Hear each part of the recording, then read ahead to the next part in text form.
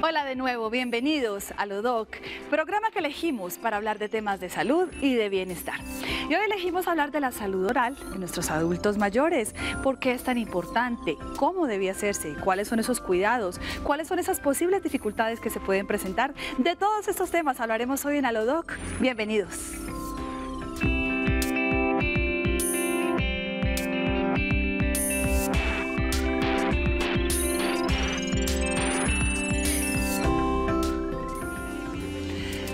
Salud oral en nuestros adultos mayores, el tema que elegimos hoy en Alodoc. Por eso invitamos un especialista en el tema. Él es el odontólogo Juan Fernando Arboleda. Bienvenido, gracias por estar con nosotros, doctor. Muchas gracias, Diana. Qué bueno tenerlo por aquí. Gracias a ustedes. Usted es la persona perfecta para hablarnos de este tema, por toda esa experiencia que usted ha tenido con los adultos mayores. Sí, señora. Hoy elegimos hablar de ellos y bueno, empecemos hablando cuáles son esas posibles enfermedades que se pueden presentar cuando ya vamos obteniendo más edad. Bueno, eh, después de atender adulto mayor casi toda mi vida, se da uno cuenta que en la parte de salud oral, en odontología, eh, tiene uno que estar muy bien preparado porque nuestros adultos mayores, eh, la mayoría de ellos tienen compromisos médicos que hay que tener muy en cuenta y ser muy pertinentes en los diagnósticos odontológicos porque los adultos mayores casi siempre tienen manifestaciones orales de enfermedades que tienen eh, de base, ¿cierto? Encuentra uno diversos, em, diversas manifestaciones, de hecho el odontólogo es el profesional que se da cuenta primero que muchos médicos incluso, y uno tiene que ser muy responsable con eso, mm, de manifestaciones de enfermedades que de pronto todavía no han sido detectadas, y el odontólogo tiene la oportunidad de eh, de identificarlas en primera línea, ¿cierto? Hay enfermedades de diferente tipo, eh, diría yo que muchísimas manifestaciones, por ejemplo, en nuestras adultos mayores, por ejemplo, las señoras, es muy frecuente encontrar enfermedades autoinmunes, algunos síndromes autoinmunes que producen cierta sintomatología o signos en la cavidad oral, como por ejemplo disminución de la saliva o el flujo salivar, eh, una cantidad de cositas que pueden producir eh, consecuencias durante el, proceso de la enfermedad. Son personas más susceptibles a sufrir de caries, enfermedad periodontal, halitosis, que es lo que llamamos el mal aliento, eh, keilitis angular, que es el permanente, la permanente heridita que mantienen los adultos mayores o algunas personas aquí en la comisura o en los ángulos de los labios.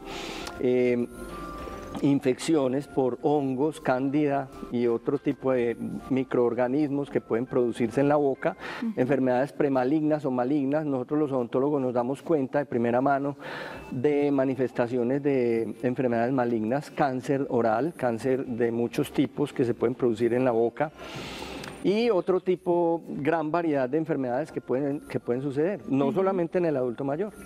Doctor, cuéntenos de algunas de esas enfermedades que desencadenan problemas en la salud oral.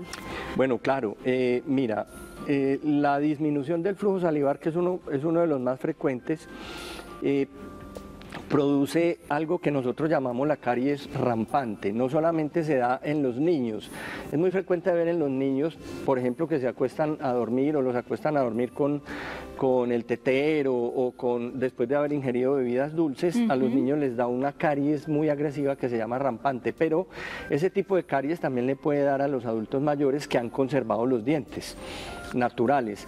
En algunas ocasiones uno encuentra una susceptibilidad altísima a sufrir la caries, caries dental en adultos mayores y eso conlleva la pérdida de una o más piezas, incluso de toda la dentadura.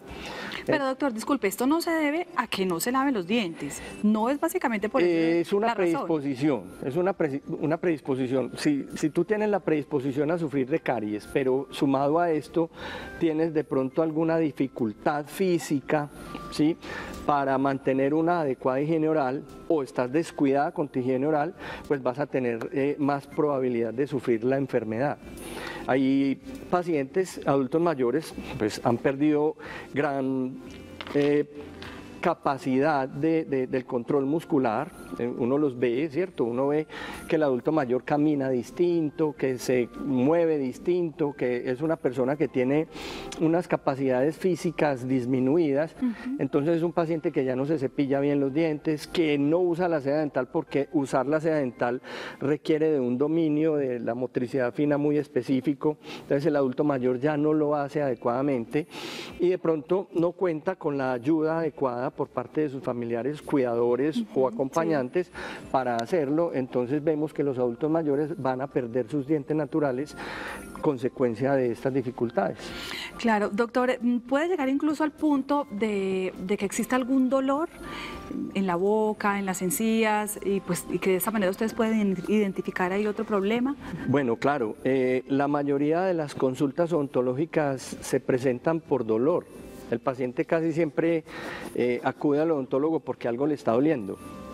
Eh, uno, encuentra, uno encuentra enfermedades de la, de la cavidad oral, eh, la caries puede llegar a doler, claro, afecta el, el, nervio del diente o la pulpa dental y eso produce un dolor bastante fuerte. Eh, la enfermedad periodontal, algunas veces el aflojamiento de los dientes, la gingivitis, producen dolor y obviamente la pérdida de algunos dientes o la movilidad de un diente, un diente que está móvil o flojo cuando sufre algún tipo de, de fuerza natural durante la masticación, entonces el diente se puede luxar y doler. Eh, traumas pueden producir dolor, pues muchos traumas de origen dental producen dolor. Eh, odontología restauradora en algunas ocasiones, cuando uno hace una restauración, digámoslo así coloquialmente hablando, una calza, eh, puede afectar de pronto la, sensibilidad del diente y eso puede producir dolor no solamente en los adultos mayores, pero la, la, causa más frecuente de consulta odontológica es el dolor de origen dental. Bueno, doctor, revisemos un poco los consejos de lavado para los adultos mayores. Usted nos complementa la información si cree que algo nos está haciendo falta. Es importante entonces, en algunos casos, ese acompañamiento del que usted nos hablaba cuando las personas tienen algunas limitaciones. Bueno, realizar el aseo de la boca por lo menos cuatro veces al día si el adulto mayor puede hacerlo solo, pues facilitarle el cepillo dental, la pasta, el hilo dental, todos estos elementos que son indispensables. ¿Qué más, doctor? ¿El enjuague también sería importante? Bueno, el enjuague bucal se recomienda en algunas personas que están en tratamiento periodontal. El enjuague bucal es un complemento de la higiene oral, pero nunca va a reemplazar el cepillo de dientes y la seda dental. Bueno, en caso de usar cepillos suaves, de cerdas suaves o de cerdas duras, bueno, ¿qué es lo más recomendable? Porque por lo menos dos veces al día sí debe ser con cerdas suaves esto para no lastimar las encías. Bueno, eh, la dureza de las cerdas del cepillo de dientes tiene que ver mucho con la eh, sensibilidad que pueda tener el paciente en la parte gingival. La, mientras más dura la cerda del cepillo dental, se pueden producir eh, traumatismos en los tejidos blandos y eso produce retracciones de la encía, se destapan los cuellitos de los dientes etcétera. Sí, eh, la, dureza es recomendable que sea un, cepillo entre medio y suave. Sí. Eh, hay personas que si no se cepillan con cepillos duros sienten como que no se lavaron los dientes, pero realmente la placa dental, que es susceptible de barrido mecánico, un cepillo de dientes de cerda suave lo hace perfectamente. Si hay sensación de que todavía hay algo por limpiar es porque puede que haya placa endurecida o ya cálculo dental o sarro y es bueno que acuda a un odontólogo porque mm, probablemente ya necesita una higiene especializada. Bueno, doctor, eh, puede presentarse casos también en que el adulto mayor, digamos, se resista a una buena limpieza, a unas buenas muy frecuente. Entonces rechaza el cepillo dental y recomienda entonces que su limpieza em, de sus dientes y sus encías sea con una gasa enrollada con un, pues, con un palito de madera o de helado y en una solución de agua con bicarbonato o agua de manzanilla. ¿Sí puede reemplazar estos procedimientos una real limpieza? Mm, no, eh, pienso que es un poco más anecdótico eso. Realmente si el paciente requiere una higiene oral y tiene sus, eh, tiene sus dientes naturales, hay que cepillarlos con un cepillo de dientes. Eh, la crema dental es un ayudante mm, de la higiene oral porque la crema dental tiene unos componentes que son neutralizantes de la placa bacteriana, de los productos ácidos de la placa bacteriana y tienen componentes que ayudan al barrido mecánico. Es realmente cierto que el bicarbonato puede ayudar al barrido mecánico eh, en conjunto con otro tipo de ayudas que no sean el cepillo de dientes. La gasa es más, eh, es más útil en, en tejidos que ya no tienen dientes naturales en la boca y en pacientes que de pronto están presentando algún tipo de sobreinfección por hongos u otro tipo de bacterias en la boca. También es recomendable. Sí. Bueno, cuando tenemos entonces eh, una dentadura que no es la natural, dice extraer por lo menos durante cuatro horas todos los días, preferiblemente por la noche. Sí, es cierto, es real. Las dentaduras artificiales o, o las prótesis, prótesis totales o parciales, son dispositivos mecánicos que ayudan al funcionamiento, a, la masticación, reemplazan la función de masticación y la estética, pues obviamente, pero ese tipo de aparatos hay que retirarlos de la boca y lavarlos físicamente en la mano, o sea, por fuera de la boca. Eh, se deben de lavar adecuadamente, ojalá con un jabón líquido para no producir abrasiones o rayaduras en las prótesis o no deteriorarlas por desgaste, por abrasión y después volverlas a colocar después de lavar los dientes o la boca o los tejidos de la boca, ¿cierto? Eh, es verdad, es verdad que hay que dejar descansar la boca. Es como, e, es, tan sencillo comparativo como quitarse los zapatos para dormir. Hay que dejar descansar los tejidos orales y obviamente pues si el paciente en situaciones especiales requiere no retirarlos porque de pronto está en compañía o porque de pronto por pena o está en un paseo o en una salida, no quiere esa noche retirárselos, pues hay que hacer una buena higiene oral y no es pecado dejarlo uno o dos noches, pues, pero normalmente sí debe retirarlas por la noche. Muy buen punto, doctor.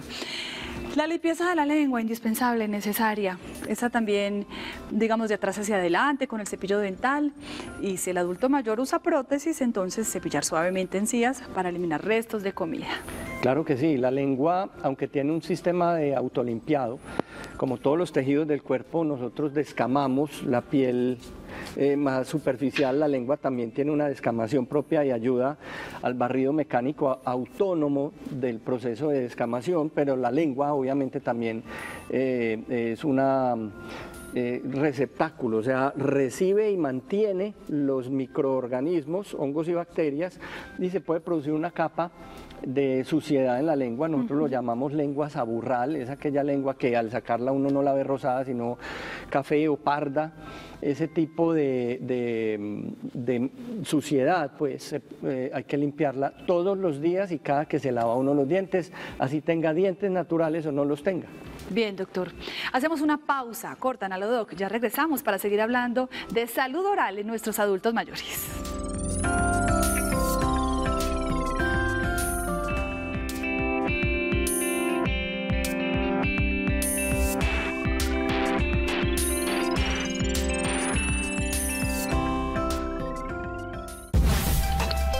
Estás viendo a Lodo.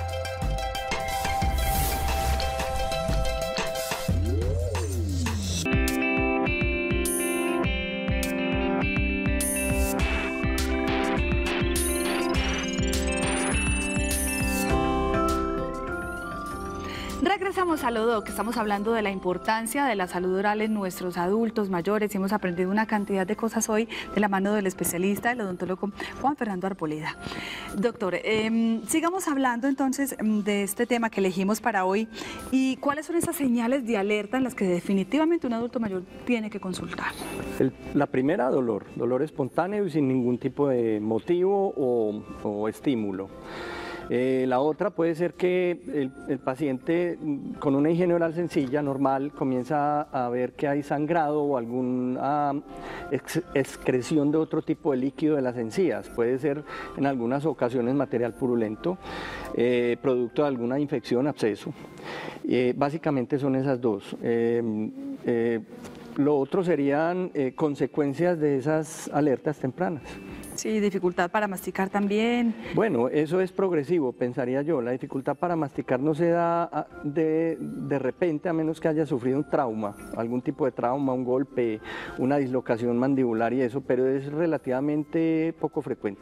Doctor, ¿pueden llegar a perderse los dientes en caso de una mala higiene bucal? Es lo que hace perder los dientes, una mala higiene oral. Y no, no es de un día para otro, es una historia larga. Se puede producir inicialmente una gingivitis, esas bacterias eh, colonizan la parte periodontal, lo que es el soporte hueso, ligamento periodontal, aflojamiento de los dientes y por consecuencia final la pérdida definitiva de los dientes. Bueno, le invito a contestar interrogantes que tienen nuestros televidentes. Claro. Vamos a escuchar. Hola, soy Andrés Banoy. Tengo una pregunta. ¿Cómo afecta la alimentación en la salud oral? ¿Qué tanto afecta la alimentación, doctor? Bueno, como consecuencia de enfermedad en, en- Sí. en la parte de salud oral o alteración en la salud oral, Así es. definitivamente, claro que sí, es una, es una consecuencia directa la mala alimentación y la malnutrición consecuencia de la enfermedad o, eh, o de la eh, mal estado de salud oral. Digamos un paciente que tiene prótesis, están desadaptadas, están demasiado viejitas ya, fracturadas, remendadas, arregladas, etcétera, son prótesis que no van a funcionar bien y obvia- obviamente el paciente va a tener una morbilidad dentro de su parte alimenticia. Eh, la caries, eh, la enfermedad periodontal, otro tipo de alteraciones en la salud oral van a, a tener como consecuencia la mala eh, nutrición y la mala alimentación. Hay problemas eh, gástricos eh, que pueden suceder por, por ingerir alimentos mal, mal triturados, mal masticados. Los pacientes pueden tener algún tipo de trastorno digestivo por eso. Y Pero hay algunos que sí podríamos recomendar, por lo menos para los adultos mayores, para que tengan una mejor salud oral o pues por lo menos unos dientes más fuertes, más fortalecidos. Bueno, es consecuencia una de la otra. Si no masticamos bien o tenemos una mala salud oral, vamos a tener mala alimentación. Pero si tenemos mala alimentación, también vamos a tener consecuencias en la salud oral. Eh, mantener un cuidado permanente. Yo creo que la consulta con el odontólogo periódicamente, cada seis meses o cada año, en- pues, depende de cada persona en general, es esencial. Si usted no consulta a su odontólogo y cree que todo el tiempo está bien, puede que esté presentando algún tipo de alteración en su salud oral y no se esté dando cuenta. Bueno, doctor, tenemos otra inquietud para resolver. Lo invito a escuchar. Hola, mi nombre es Alejandro Hernández y tengo una pregunta. ¿Cuáles son las molestias más frecuentes en los adultos mayores en cuanto a la salud oral? La consulta más frecuente, doctor. Sí, eh, como te dije ahora, el dolor, básicamente el dolor. Eh, y otras que, por ejemplo, yo que atiendo adulto mayor permanentemente, vengo a cambiarme mis prótesis porque me quedan flojas. Es, es lo, más, lo que más escuchamos. Son pacientes que tienen prótesis que normalmente tienen una vida útil de 5, 6, 7 años y las tienen 10, 15, 20, hasta 30 años. Y son prótesis que no tienen por qué estar tanto tiempo ahí. El paciente, cuando ya lo nota, probablemente ya es más difícil hacer la rehabilitación.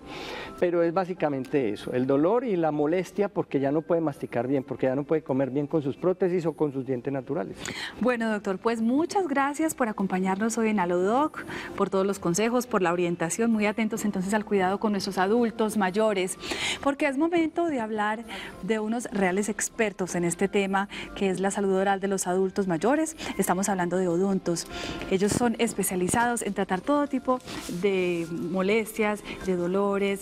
Son especialistas en atención al adulto mayor en cuanto a salud oral. Por eso le doy la bienvenida a Heidi Sánchez, representante de marca. Qué bueno tenerla aquí. Hola Diana, ¿cómo estás? A todos los televidentes un saludo súper especial, feliz de compartir este espacio con ustedes. Nosotros también estamos felices de orientar a nuestros adultos mayores en todo lo que es el cuidado, las prevenciones. Y viste cuál es la clave, ¿no? La prevención. Y es lo que queremos contarle hoy a los pacientes.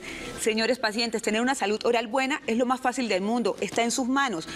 Hablábamos en la clínica que el mejor odontólogo somos cada uno en la casa. Tenemos el cepillo de dientes, tenemos la seda dental, una visita periódica puede salvar los dientes, Diana. Hablemos de esa visita periódica, por lo menos para los adultos mayores, cada cuánto eh, se requiere una revisión. cada seis meses. Ojo, cuando hablamos de temas de rehabilitación en el adulto mayor, hablamos de dos tipos de rehabilitaciones. Los adultos mayores normalmente tienen parte de dientes naturales, tienen prótesis dentales y algunos tienen implantes dentales. En ninguno de los casos nada es para siempre. Ojo con esto, nada en salud es para siempre. Deben hacerse cambios periódicos. ¿Cada cuánto deben cambiarse, por ejemplo, las prótesis Diana? Cada cinco años. Entonces, paciente, si usted tiene una prótesis dental que ya tiene cinco años, así la tenga en buen estado, porque usted es un paciente juicioso con los mantenimientos, debe hacerse el cambio. Si usted es un paciente que tiene implantes dentales, la visita se hace una vez al año, porque estos implantes hay que hacerle también un proceso de mantenimiento para que no se afloje, eh, para que no se aflojen, para que no se le caiga al paciente, o sea, que no se genere una enfermedad. Y si tiene dientes naturales, cada seis meses. La remoción de los cálculos es clave para evitar su primera fase, la gingivitis, que el doctor Juan Fernando habló de ella, que es el sangrado, y, y esta es la que lleva a la pérdida de los dientes. Entonces, no espere más, no más miedo, no más excusas. Y es que la odontología cambió, Diana. Hoy hablamos de una odontología mucho más cercana había unos mitos muy comunes en, las, en todos, eso, eso porque eso le pasa a todos, incluso a los adolescentes, que la odontología duele. No, señora, no, señor, la odontología cambió, la odontología es mucho más cercana hoy. Hoy en día todos los dientes son importantes, Diana. Antes, ¿tú te acuerdas? No sé si te tocó la odontología o tienes la abuelita que te contaba la historia. Claro que sí. Que cada vez que iban a la consulta, lo primero era la extracción de la pieza dental. Hoy en día, no, nunca. O sea, cada diente es importante para poder mantener el hueso. Otro de los mitos de los pacientes no es que la odontología es súper costosa, es que yo no voy allá porque eso es súper caro. Eso también cambió muchísimo. No sé si tú te percatas y ves a la gente, hoy hablamos, hoy, hoy la gente tiene dientes más bonitos. Sí, claro, y nos preocupamos más por tenerlos más bonitos. Porque la odontología financieramente está más al alcance. A la odontología le pasó lo que la tecnología. A medida que ha ido evolucionando, se ha vuelto mucho más cercana y mucho más fácil de acceder a los tratamientos. Exactamente lo mismo. Entonces, paciente, por desconocimiento, deje de pensar que no va a tener oportunidades porque sí las hay. Y otro de los no, es que me voy a demorar mucho. También cambien eso. La odontología hoy, hablamos de una odontología con tecnología. Por ejemplo, pacientes que necesitan prótesis dentales. En odontos contamos con laboratorios propios, Diana. Nosotros entregamos prótesis el mismo día. Entonces, si usted es un paciente, por ejemplo, que nos está viendo desde las afueras, que están en los pueblos, incluso si están aquí mismo, que tienen miedo de salir por el tema de la pandemia, porque no quieren estar tan expuestos en sitios clínicos, en odontos, usted llega a las 8 de la mañana y a las 5 de la tarde ya tiene su prótesis dental. ¿Le va a doler? No, mi señora, no, mi señor, hacer una prótesis dental no duele, requiere un proceso de adaptación.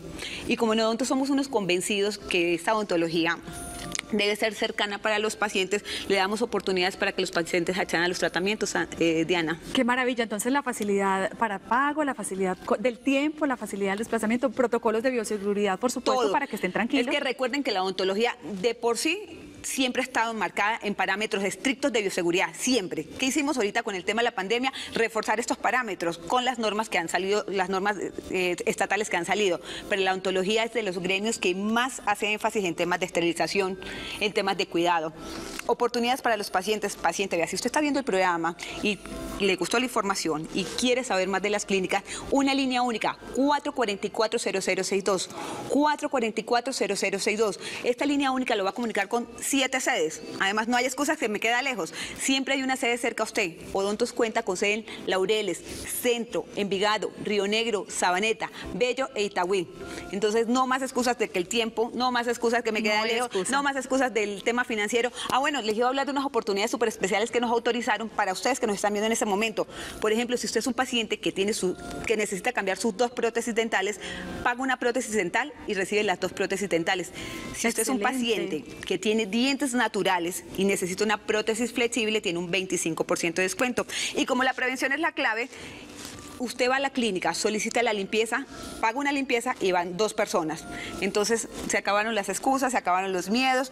Dele una segunda oportunidad a su salud oral. Dígale sí a hablar, comer y sonreír con confianza. Usted lo ha dicho, una segunda oportunidad a la salud oral. Gracias por acompañarnos, Heidi Sánchez, representante de Marca Odontos. Por supuesto, a todos estos beneficios que son para nuestros, ustedes, nuestros televidentes. Gracias por acompañarnos. Nos vemos en Alodoc en otra oportunidad.